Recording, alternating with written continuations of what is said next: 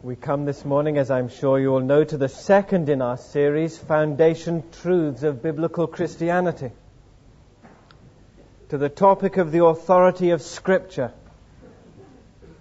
For what we have in the Bible is the written form of what God has said, what God has spoken.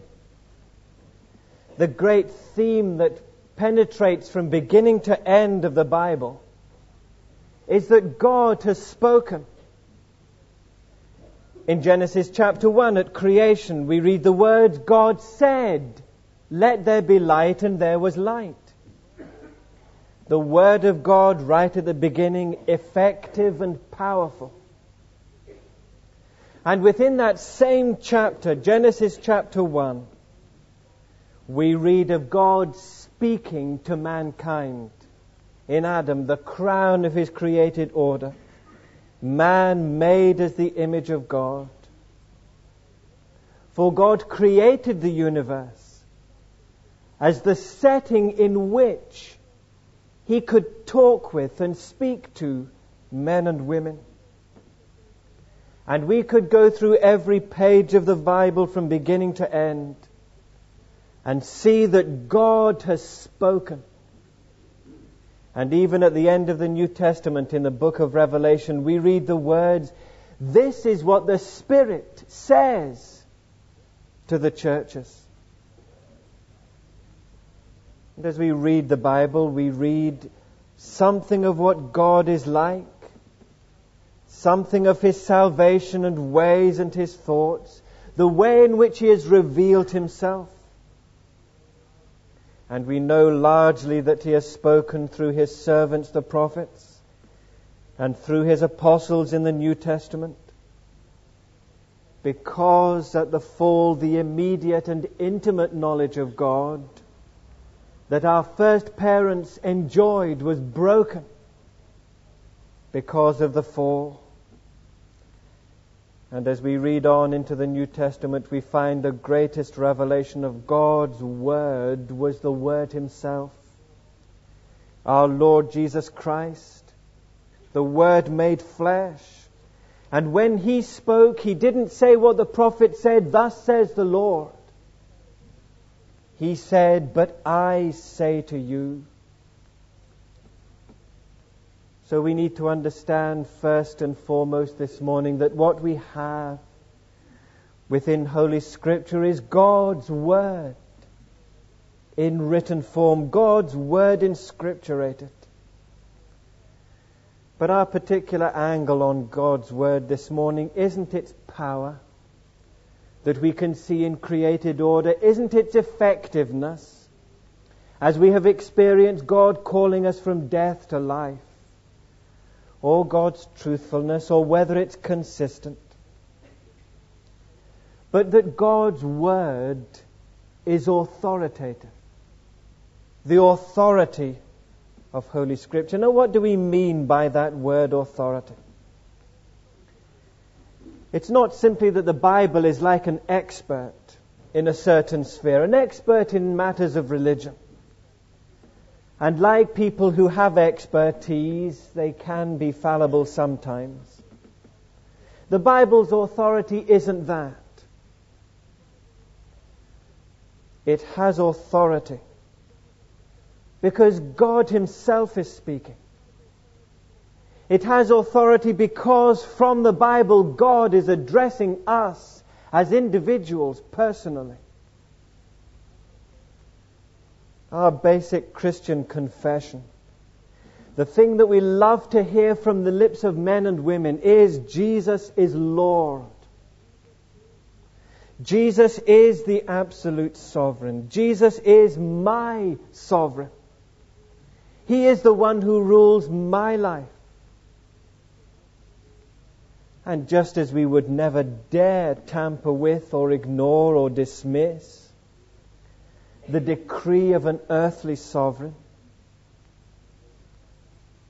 the authorities in any land. We dare not do so with the Word of God, where the absolute sovereign, the King of kings, and the Lord of lords is addressing us. Jesus is our sovereign Lord, and He addresses us from His Word. And as His Word is read, it speaks to us and judges us. We don't judge it and question it. Or do we? Isn't that precisely the problem with humanity? Isn't that precisely the problem that we experience time and again? Isn't that exactly what we see going on in the church at the end of the 20th century? With the Word of God, the Bible? And haven't men and women in our own time fallen again into the trap that our first parents fell into? God gave them His Word. And the evil one came along and directed his attack, as you remember from Genesis chapter 3, to the integrity and the truthfulness and the goodness of God.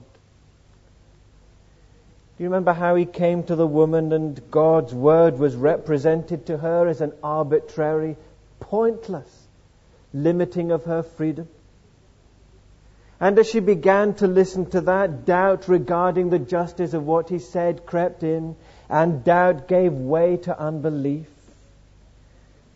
And then the transgression that God was wanting to prevent men and women from participating in appeared to her and them to be the way of freedom. And what we find is that desire ultimately dismissed the Word of God and sin came into the world. But do you see how it comes in when God's word is represented as arbitrary and pointless, and doubt gives way to unbelief?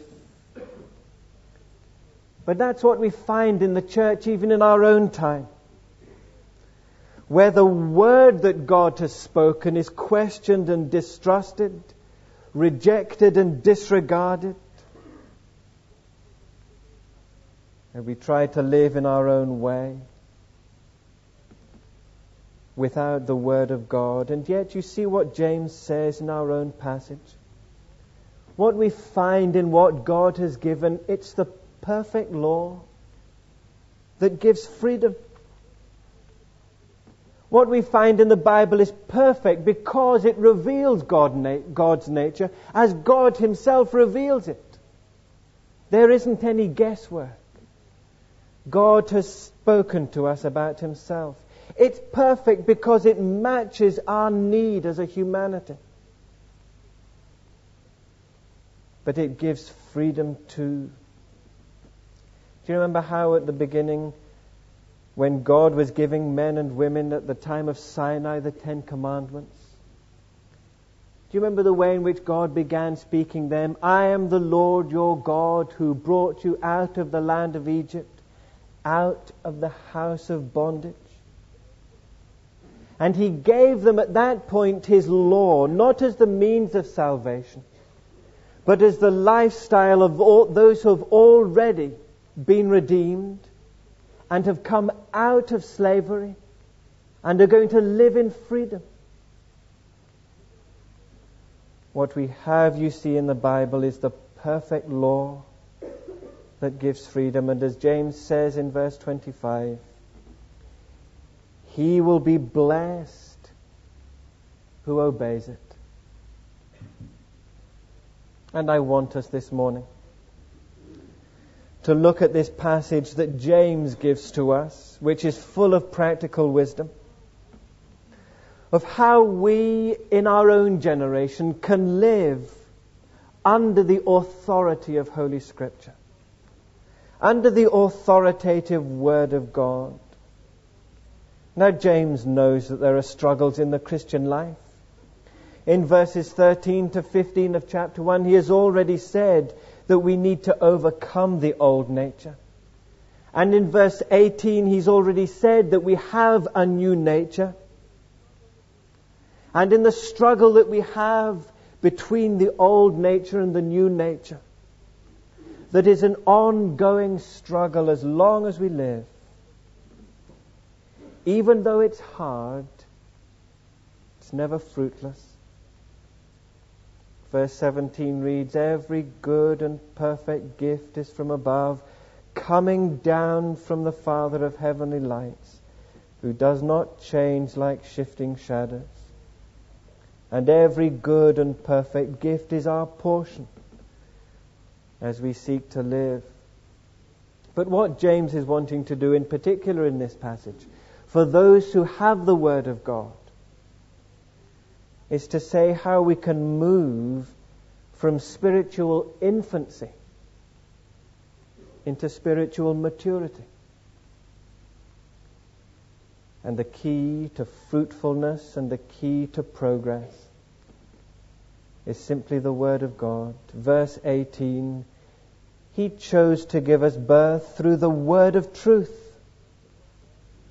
Verse 21 Humbly accept the word planted in you that produces salvation. The salvation that is the righteous life here and now that God desires to see. And you see what he says. Just in three words in the passage that we read. How we can demonstrate personally in the way we live that we actually do live under the authority of the Word of God. Verse 19, listen. Verse 21, accept. Verse 22, do. Or we might say, verse 19, be attentive to the Word of God. Verse 21, be receptive of the Word of God.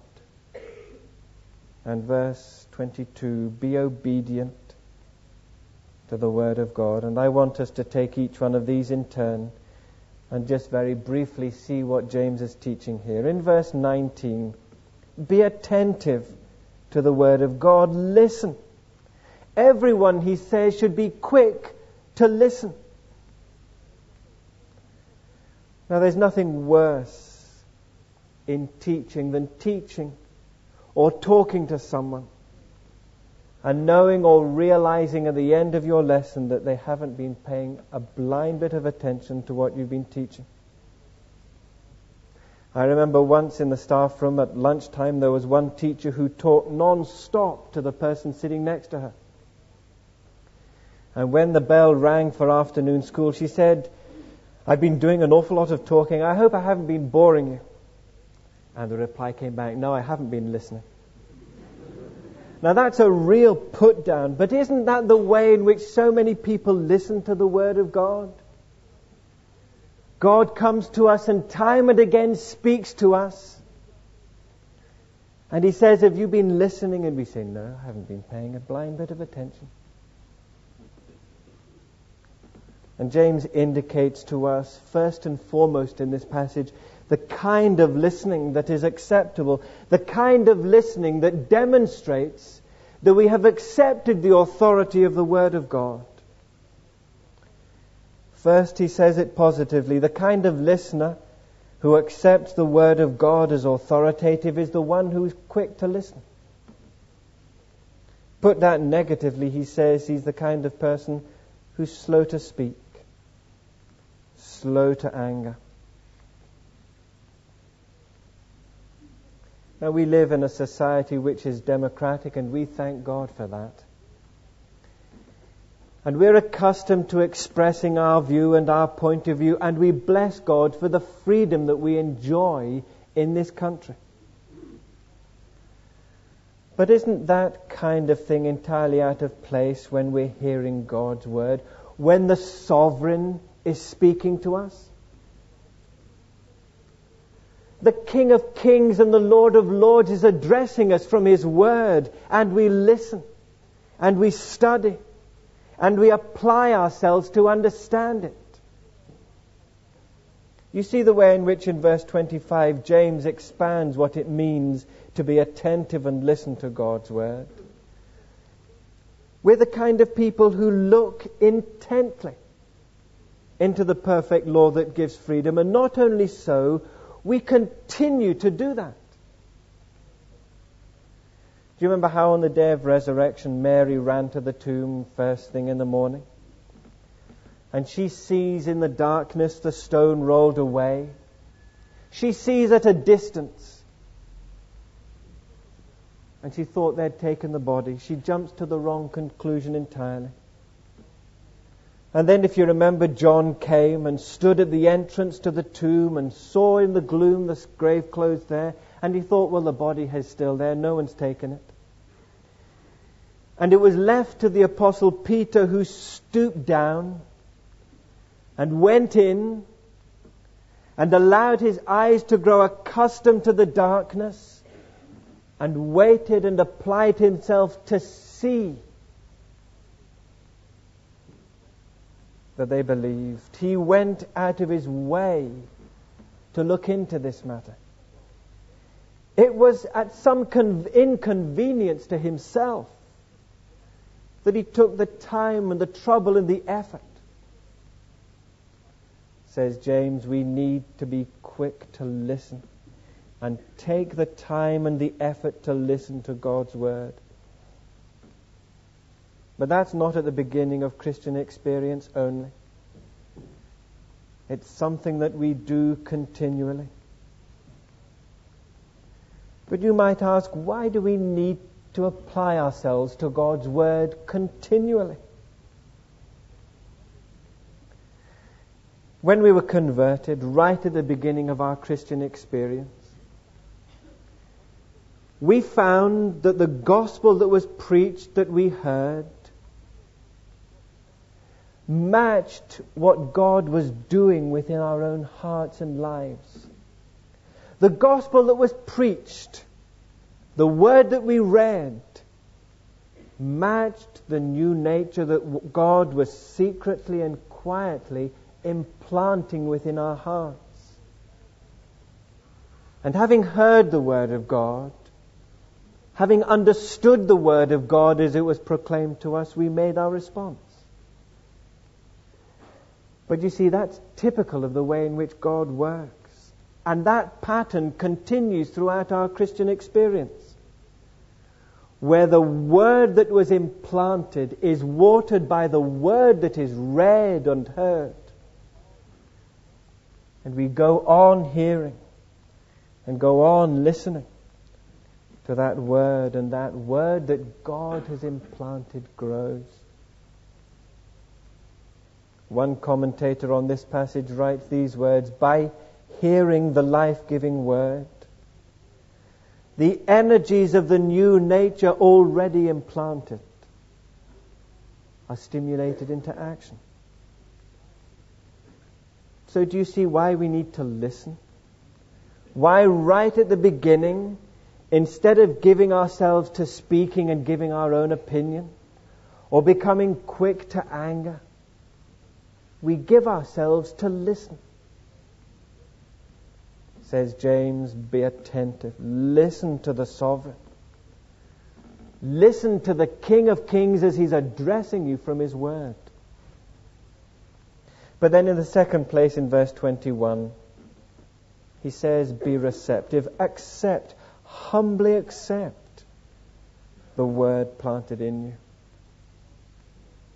we have the sovereign speaking.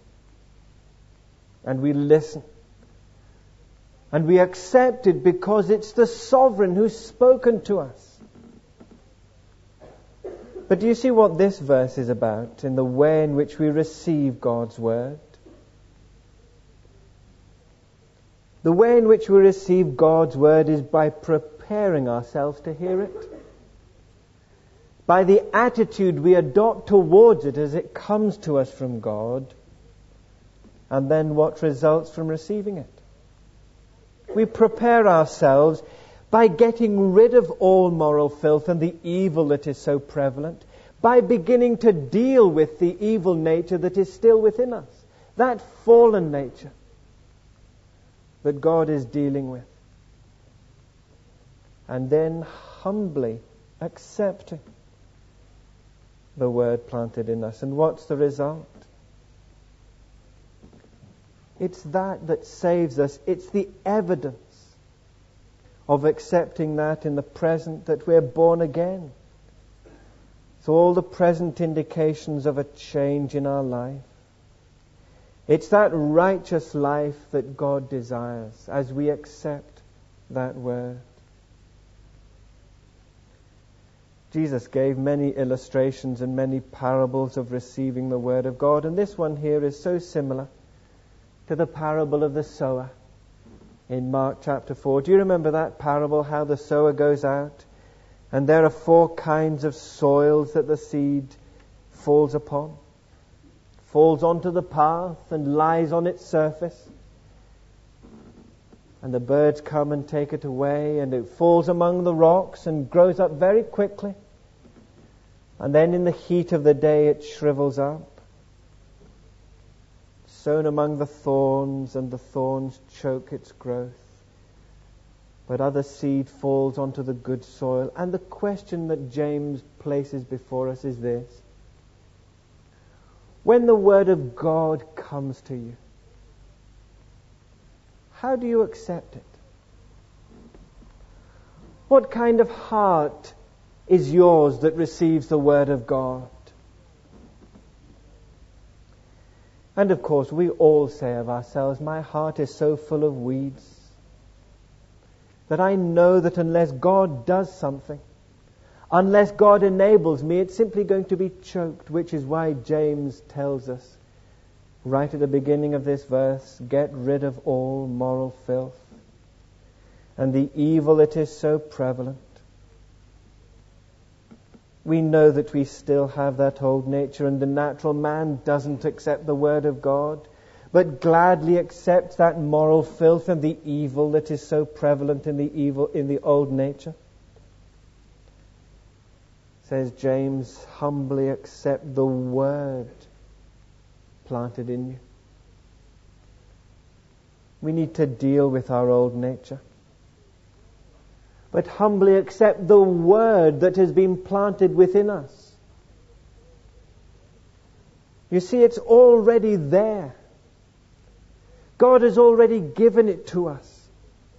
He has implanted it within our souls according to His grace and His love. And what James is saying there is cultivate it, nurture it, because the implanted Word of God has its own life and vitality. But growth takes place, as we have already seen, as we receive increasingly fully the Word that makes us His sons and daughters. But you say to yourself, how can I keep these weeds down? How can I deal with that part of my life that I am so ashamed of? That I know needs to be dealt with? I was speaking to someone in, this own, in our own congregation about gardening. And he said the way in which he keeps the weeds down, and I don't know why I didn't think of it myself. The way in which he keeps the weeds down is actually by planting all that he wants to be there. Isn't that obvious? And yet, isn't that what we don't do? We want to see the fruits of righteousness within our own lives. That righteous life that God desires. And therefore, we need to cultivate it. We need to make sure that we give time and effort in producing those kinds of fruits for God, and in this way keeping down and keeping at bay the old nature. But in the third place, the apostle says, Be obedient. Verse 22 begins with a great warning. A warning that is sounded to every believer. Don't merely listen to the word and so deceive yourselves. Do what it says. It's something we need to heed and take and recognize the importance of what James is saying here. Because we so easily deceive ourselves in saying, Yes, I read the Bible. Yes, I listened to a sermon. And that's all that we've done. And we actually go away and give the life to the, to the belief that God's word is authoritative in our life. Says James, be obedient. Do what it says. The sovereign has spoken. And we therefore must do what he says, obey what he says. For when Scripture addresses us, it's God who's speaking. And we believe and trust and live our lives in the light of God's Word. In verses 23 and 24, the Apostle James gives us an illustration of obedience, what it means to obey and not simply to listen but do. And he speaks about a man who takes a mirror and looks at himself within it and goes away and forgets what he looks like. And he says it's like that when we take a look at the Word of God and see ourselves in it, see what it's teaching us. But it's what happens next that is the point of the illustration, isn't it? It's not simply taking the Word of God and looking at it.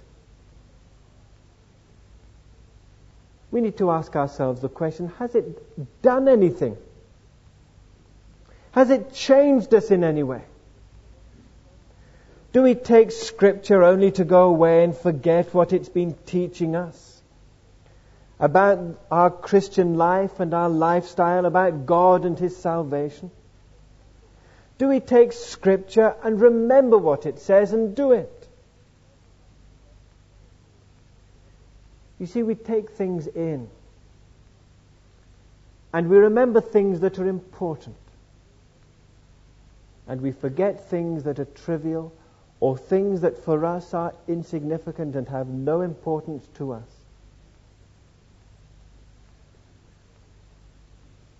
And if we take the Word of God and listen to it and go away and forget it, what we're actually saying about the Word of the Sovereign is that whatever He says is a matter of insignificance to me.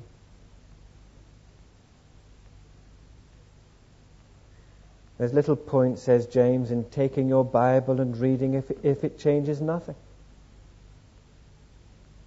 If we question its teaching, if we disregard it, if we dismiss it. But when we take God's Word, we need to ask ourselves, how must I change in the light of what God is saying here? How may I redirect my life to live in the way that God is saying? How must I change my mind and my thinking and my thoughts from what God is speaking to me about in this passage? How must I deal with myself and restrain what God hates and cultivate what God loves in the passage that He's speaking to me out of? How must I discipline myself? How must I form new outlooks on life? How must I see things differently? How must I change from the word of the sovereign? How much new have I learned of God and His love for me? How much have I increased in my understanding of the cross and all that it means? See, getting to grips with God's Word is like learning the very first principles of any discipline and then progressing in increased knowledge of it so that we can have a more accurate understanding of that subject. But why do we want to understand it? So that we can make practical use of what we learn. It's like going overseas and learning a new language and learning a new culture. We do so with a view of practical use in daily tasks in that new land. It's like learning a whole new way of thinking. Not simply so that we can have knowledge and it mean nothing to us, but so that we can make practical and daily use of what we learn. Says James in verse 18, He chose to give us birth through the word of truth. That word that has been planted within us. That seed that in the grace of God has its own vitality and is watered as we continue to look intently into the Word of God. But what do we know of seed? We look for the growth. We plant in order that we can reap a harvest. We plant in order that we can see the beauty of nature. And that word that has been implanted by the sovereign grows as we go on listening and obeying. Do you see the two choices that we've got, the two ways that James lays before us? Verse 22, we can deceive ourselves. We deceive ourselves when we listen and don't obey. Or we can go the way of blessing in verse 25. He will be blessed in what he does. And the way of blessing is listening, humbly accepting the word of God, and being obedient. We've been thinking this morning about the authority of Holy Scripture. We began by seeing that God has spoken His word. We need to be attentive. We need to accept and to receive that word. But we need to go on further and be obedient to the sovereign in the word that He's given to us. Amen. Now, as we close our service this morning, we'll be singing hymn number 289. And we've been thinking of the Word of God as the Word that comes from the Sovereign. And I want us to sing this hymn, reaffirming that we live accepting the authority of the Sovereign Look, ye saints, the sight is glorious. See the man of sorrows now from the fight returned victorious. Every knee to him shall bow, crown him. Crowns become the victor's brow. Hymn number 280.